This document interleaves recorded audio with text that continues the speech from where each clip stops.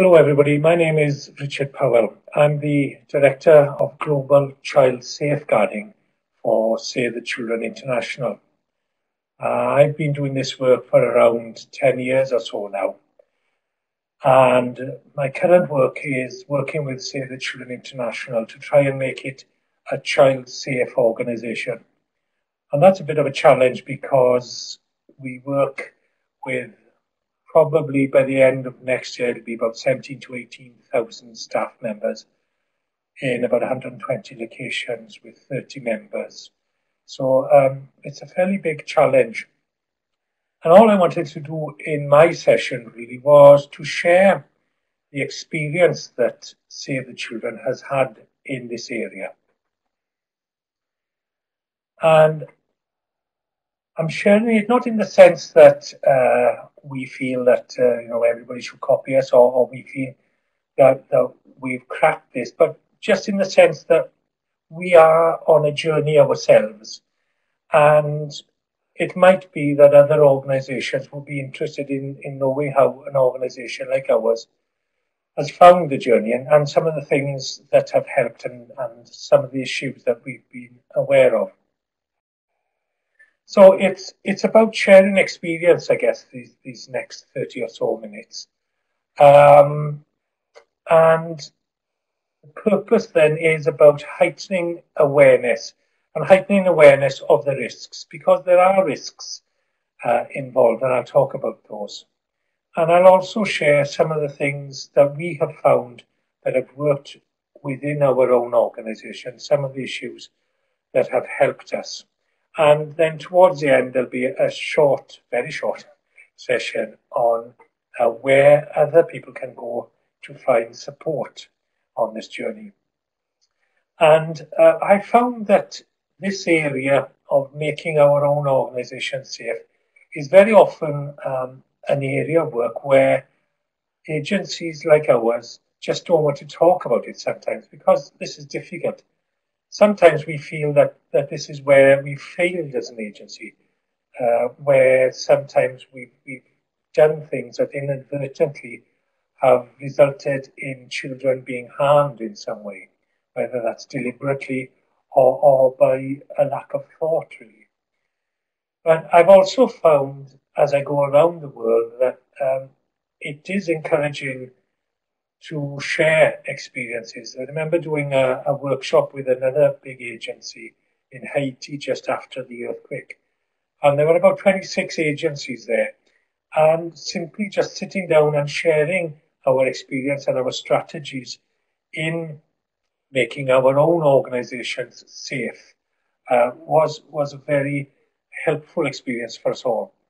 So um, I'll just start, uh, but I'll please take it in the sense that it's intended. It's uh, simply a sharing experience, an experience where humbly uh, I'm just explaining how we've gone through things. So let's look at uh, the first area, which is about heightening awareness of, of risk. And um, our work is often in some of the most difficult environments in the world with some of the most vulnerable populations, and obviously with this conference a focus on human trafficking and slavery and all the risks and dangers and vulnerabilities involved there. And we have to be aware that there is no way that we can eradicate all risks. This is not a risk-free environment and it probably never ever will be a risk-free environment. But the real issue is about how we respond to those risks and how we prepare for those risks. Really, that is the key.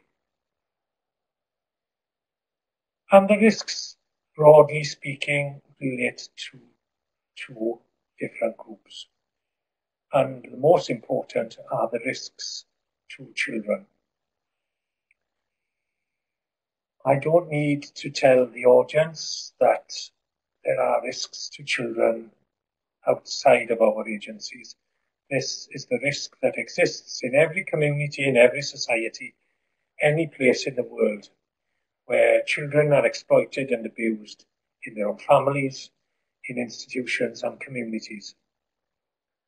However, we also know from our own experience and from what children tell us and what other agencies tell us is that there are risks associated with our own agencies, internal or inside the operation of our own organization. And this is an area that often is an inadvertent, it's omission, it's, it's a failure, and sometimes it's a deliberate act. So sometimes the risks caused by our own agencies are deliberate and sometimes they're inadvertent. We have adopted a definition of child abuse that talks of a number of things. It talks about individuals, institutions, and processes that harm or fail to protect. And so, from our definition of child abuse, we define that if we as an agency fail to protect children, whether directly or indirectly, then we as an agency ourselves have become abusive of children. And that's a real challenge. That's a real challenge for us.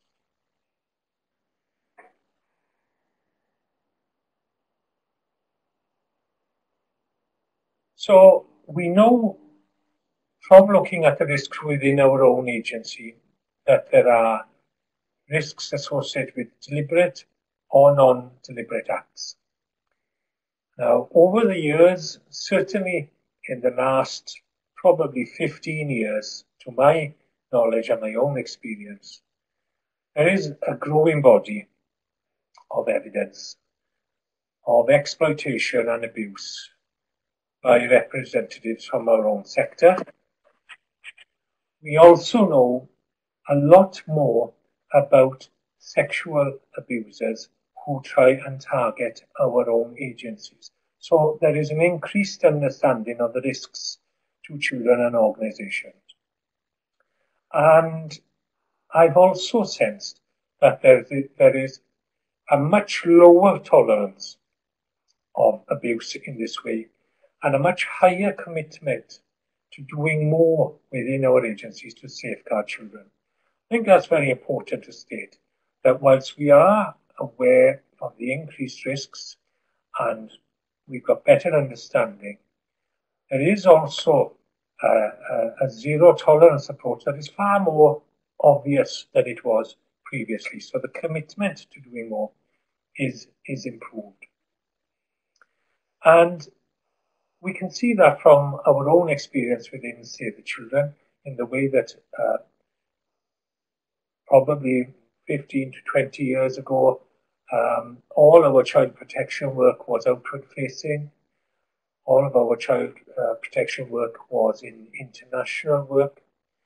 Um, and gradually over the years, we've come to understand that whilst we are trying to make the world itself a safer place for children, that we ourselves have a duty and a responsibility to make sure that we ourselves are safe for children. So our policies have developed and our procedures developed so that not only are they externally facing, but they also face internally as well.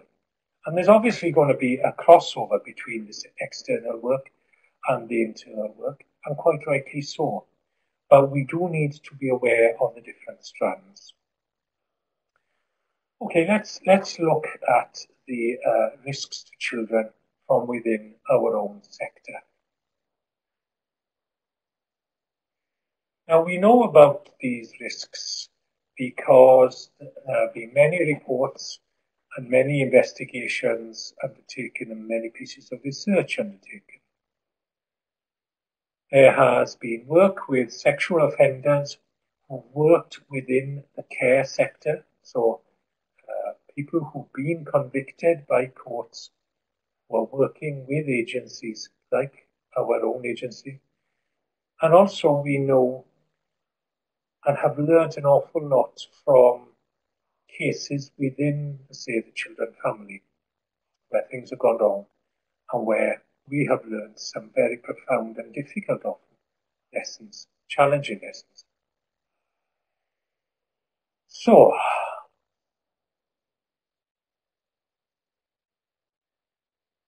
let's look at uh, some of these reports and investigations.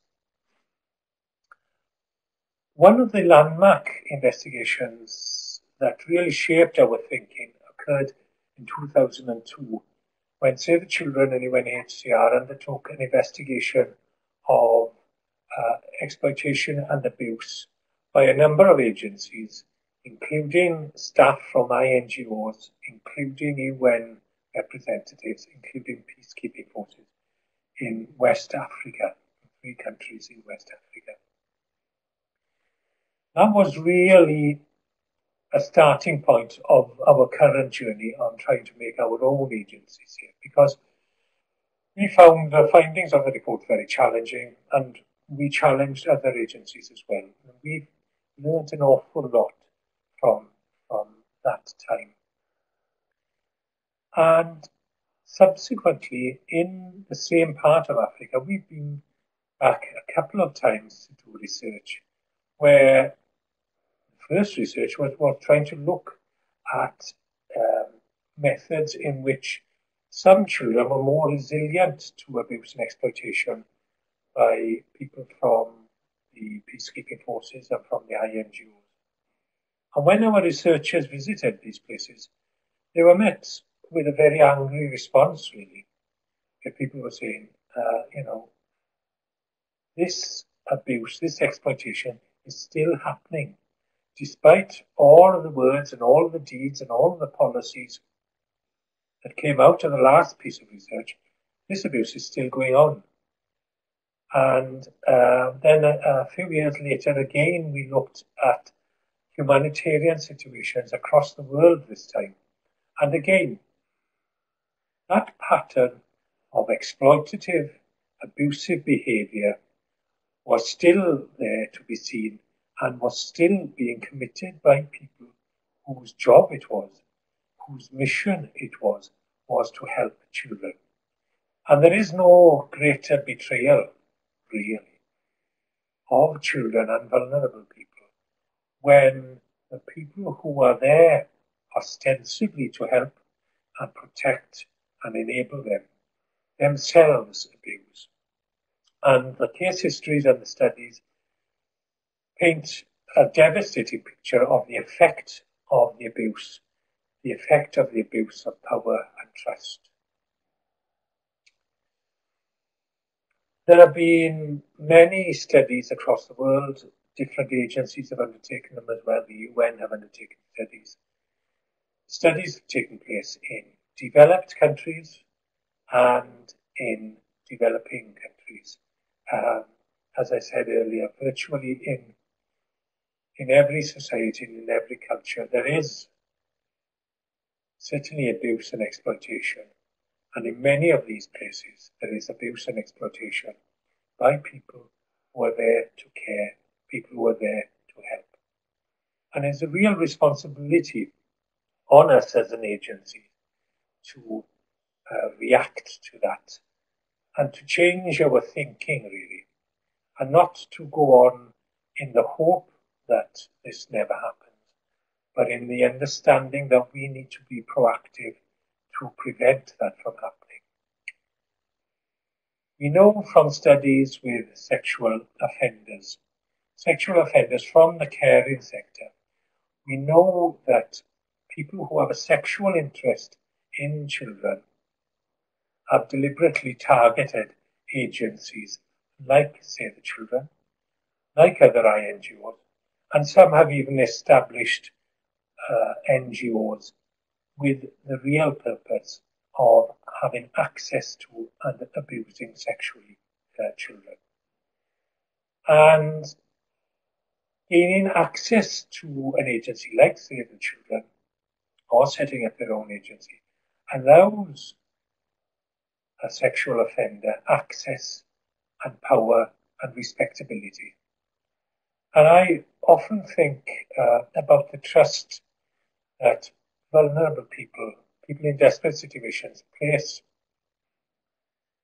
in agencies like ours uh, worked in, in an emergency situation, for example, just after the tsunami in Sri Lanka, where people in the village uh, were absolutely dependent on me. And yet they knew very, very little about me. All they knew was that I was this guy with a red t-shirt who turned up and, and upon whom they, they relied. And all of a sudden, uh, I was in a very influential and powerful position in that little village. And it's absolutely essential that we do our best to ensure that our people do not abuse that position of power and trust. But we know from studies with sexual offenders that they will try and infiltrate our agencies. In a very interesting study undertaken by Dr. Joe Sullivan, uh, working with the Lucy Faithfull Foundation in the UK, a large number of caring workers who've been uh, convicted of sexual offences. Something like 60% of those people said that they chose their profession, they chose a caring profession because it meant that they could access children. And the process of grooming is becoming much better understood now. And grooming is where offenders, sexual offenders, perpetrators of sexual abuse, will create an environment where they are trusted, where they can access children, and where it's increasingly difficult for them to be uh, accused of anything because they are in this influential position. So we do know an awful lot more uh, about grooming now, and, and we do need to be aware of this. And finally, we know from case histories from within, Save the Children family, that uh, there have been incidences where our own people have ended up abusing children. Some of it, there's a very broad spectrum, it has to be said. Some of it has been out and out deliberate abuse of children. Some of it has been a failure of systems and some of it has been a failure to uh, assess risks and to mitigate against risks. Um, and I'll just give you a couple of, of examples.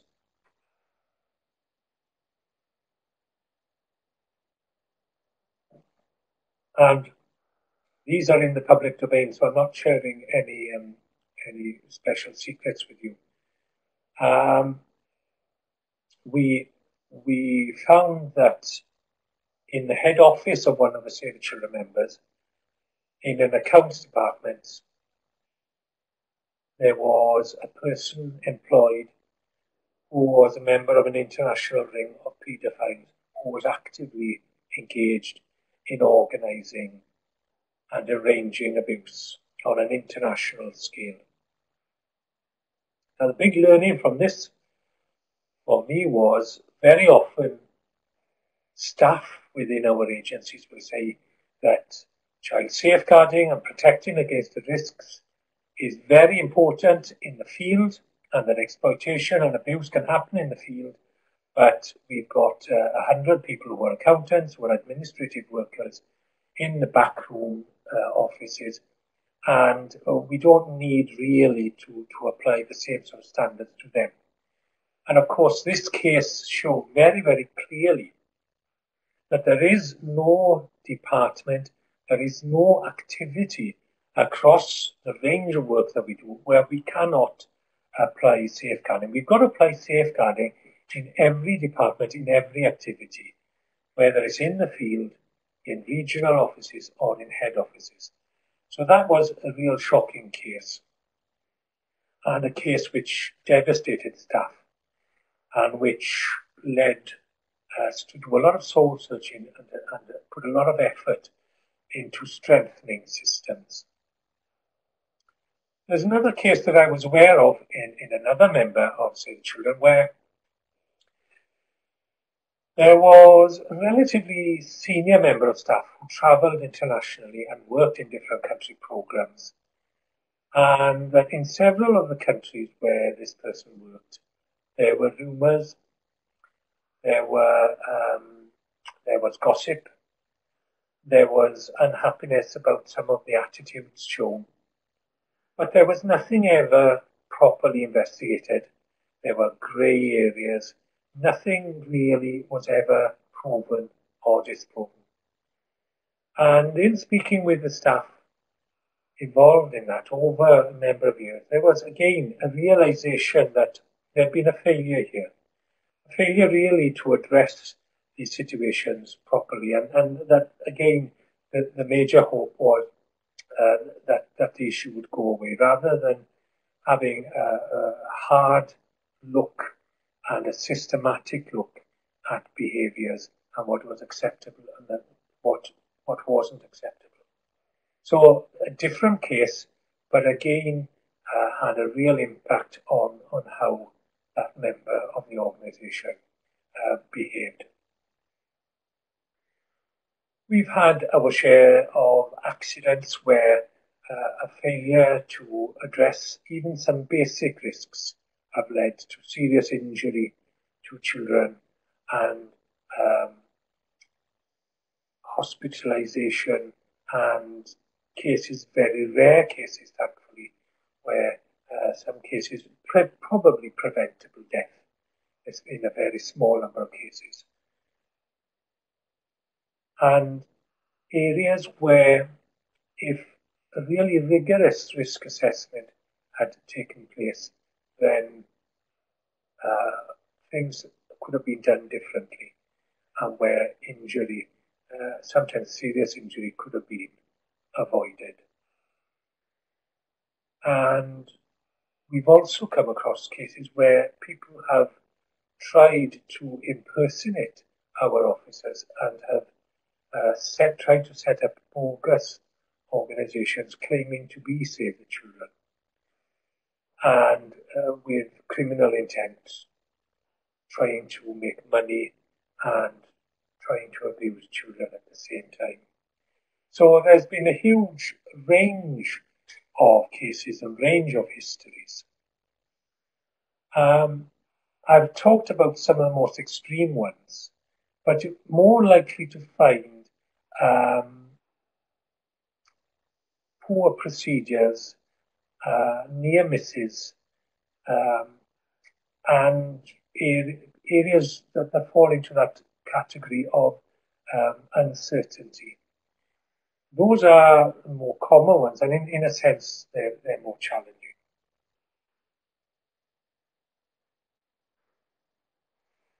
So let's talk about uh, the risk to our own organization.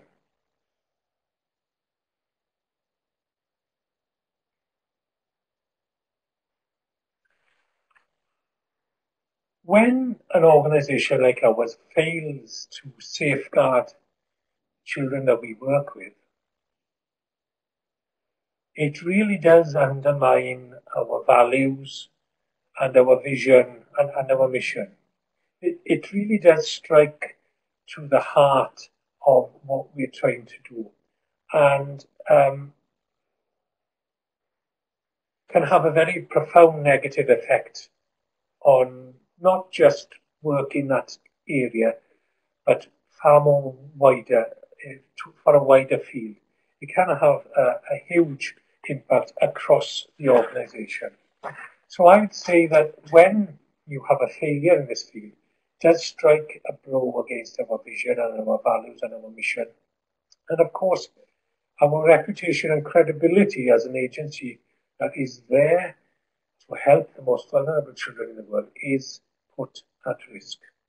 And um, I think we, we are all very, very aware of agencies, bodies, um, where there's been a failure. And I think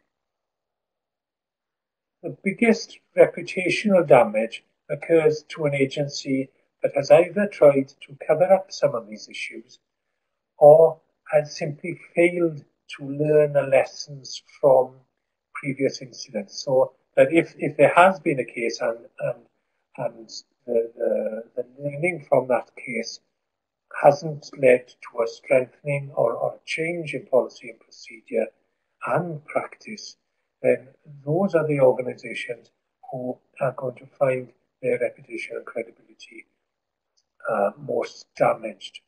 And the very worst thing uh, that an agency can do is A, to hope that this sort of thing goes away, or to be even worse, to, to cover cover it up and, and, hope that nobody finds out. Um, and, and that is uh, something that I'm hoping that little sessions like this will actually help. Um, because as I said earlier, this isn't necessarily an area that we want to talk about. But I, I genuinely don't believe that this is a negative area for us. This is something that we need to show that we are taken seriously and are prepared to be open and forthright about. So I'd like to go on now in the time remaining just to share some of, the fundamental approaches. Please, you know, this, this is just uh, sharing our journey. We're still on that journey. And please don't think that, that we think that, that we know all the answers. But as I've mentioned throughout the talk, the, the fundamental approach has been one of, of employing child safeguarding approaches, which are in the main internal facing policies and procedures that try to make our own organisation safe for children. And there are um, three broad areas to it.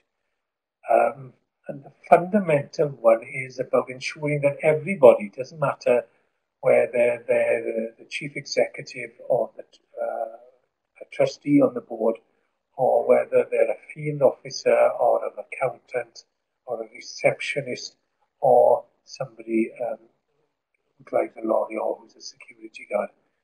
Everybody in the agency needs to be aware of abuse and exploitation and know what to do and how to respond appropriately to that. Uh, uh, with the staff the size of ours in, in the range of location as well, that in itself is a huge challenge. But without this first step, none of the other stuff can work. Second area is around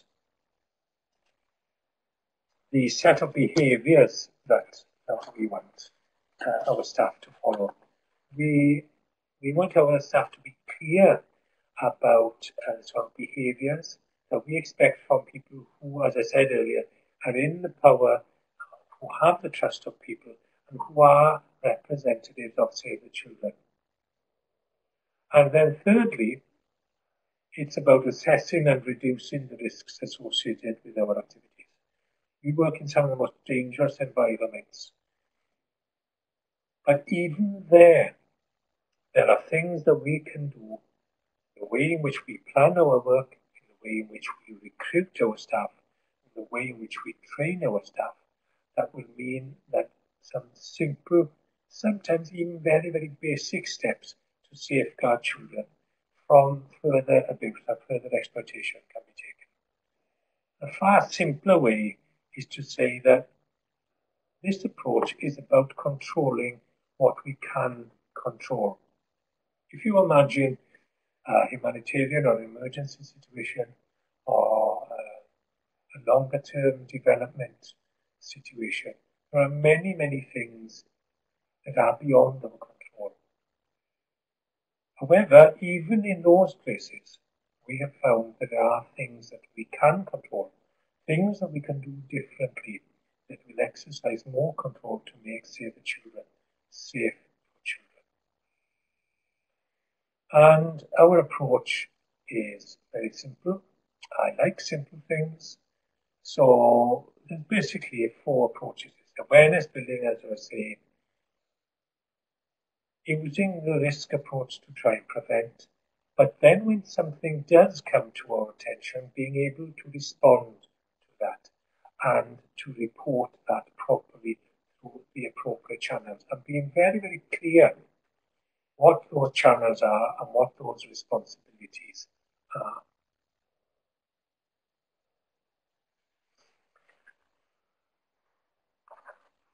The other way of looking at this is about how we make, well, let me see, how we are trying to make it stick, how we are, are trying to get this ingrained and integrated into all of our work, whether it's in our work on communications and fundraising, um, advocacy work, or in, in direct services. And there are probably a, a, number of ways in which you can do this. And what we try to do is, is to try and do it in several of these ways. And there's probably some other ways as well that we haven't thought of. But um, one of the ways that we've done it is to try and get it ingrained in the value system. Um, some people come to work because they have very strong values. And that's what they take pride in. Have very clear moral values. And that's why they choose to come to an agency like ours. And so um, a safeguarding approach is very closely linked to our values. And one of our publicized values and very uh, upfront values is, is this idea of, of an outrage against the abuse of children's rights. And as an agency, we say we are outraged against the abuse of children's rights. And when it is our fault, when it is the behavior of our own people that leads to an abuse of children's rights, then we are even more outraged. And, and that is very clear. That's a clear message in the agency. Another way that we've tried to integrate this is by making it the law. Um, one of the most fundamental things we've done is in the law that governs Save the Children, there are some clear laws about who we are and what we do. And the other law is about safeguarding. That is enshrined in the law. It's enshrined in our child safeguarding protocol, which is the overarching law that covers all members and all parts of the agency. That's very, very clear. And that's not uh, a general law. It's a very clear and distinct law with a set of standards and criteria that we hold people to account on. And we go looking, we do actively look to see uh, how well that law is being applied and at the issues when it's not being applied.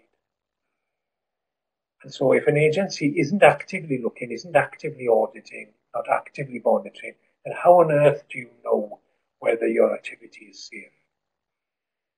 Another way of looking at it is that we've we've looked at twin track approach as, as we've just been talking about. There are risks to children. Some people come to work uh, because they are working for children's rights and an abuse of safeguarding is an abuse of that right, uh, of a child's rights. And other people in the organisation, I'm thinking of trustees in particular, very, very concerned about risks to the organisation. And as we've seen, there are risks associated as well. But the key thing, I think, is that it has required leadership at all levels in the organization to make this work. It's been mainstreamed in roles and responsibilities. People accept that they have a responsibility in this field. And also, we have had to commit real resources to this. This doesn't happen on its own accord. It's mainstreamed, yes, but in order for that mainstreaming to work, resources do need to be allocated. So our policy, I've tried to strip it down. Um, as I mentioned, the policy has several standards and policies uh, have procedures associated to it as well. But the key areas are around training, the behaviours, and avoiding risks to children. And finally, to wind up, I said I would look at the available support to agencies and the journey that we've been on has been helped very much by working as part of the Keeping Children Coalition. One of the key outcomes of the report I talked about in 2002 was an idea that we needed standards in this field. And we've talked about values. And alongside those values, we have adopted the Keeping Children Safe standards and we've developed those into our own standards. And being part of the coalition has been incredibly helpful for us. And we use some of the material, we've helped develop some of the material. We've learnt an awful lot from the other agencies in the coalition. So they've got standards, they've got materials, they've got consultants, they've got people who just give general advice, and also they've got other agencies who sit alongside you and, and are, are prepared to share their journey as well. So if I was to give any advice, and I'm loath to give any advice really, um, my main advice would be that um, keeping children safe is a good starting point if you are embarking on this journey. Uh, and that's, that's where we've got to. And the major aim for this is that we are able to say these sentences on this, this last slide here. Now you'll notice that some of, of these sentences come from other places. Um, we do need, as agencies, to be able to say with confidence that we do no harm. We don't make things worse. That we can serve with pride and that we can make organizations safe for children by controlling the things that we can control. So thank you very much. Uh, it's been a pleasure to share some time with you. I hope sharing of our experiences within Save Children is of some benefit and some interest to you in the invaluable work that you do. But hopefully as well that you can say that you do no harm serve with pride that your organizations are child safe organizations. Thank you very much.